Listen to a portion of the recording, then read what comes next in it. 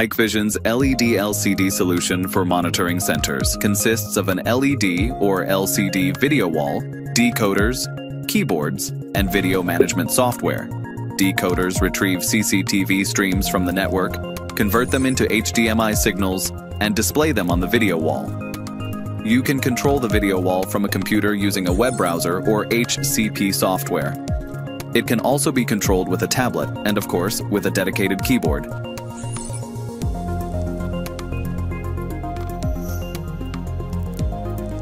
You can display CCTV feeds on the video wall in many flexible ways. Split a single screen into multiple windows, or stitch multiple screens together to create one large image. You can also create a floating window and freely drag and resize it.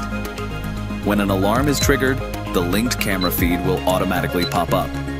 It's also easy to display local sources, like a laptop, or create scrolling text banners. You can control the system using the standard free web portal or upgrade to the paid HCP Smart Wall module for more powerful features and a more user-friendly experience. In monitoring centers without a dedicated PC, the video wall can be controlled directly by a keyboard. Let's take our flagship keyboard as an example. It has a 10.1-inch touchscreen, allowing you to perform operations like previewing video feeds directly on the keyboard itself. Key functions like displaying and removing feeds, window splitting, window stitching, and PTZ control can all be performed quickly with the keyboard. Our solution also supports controlling the video wall with your mobile devices.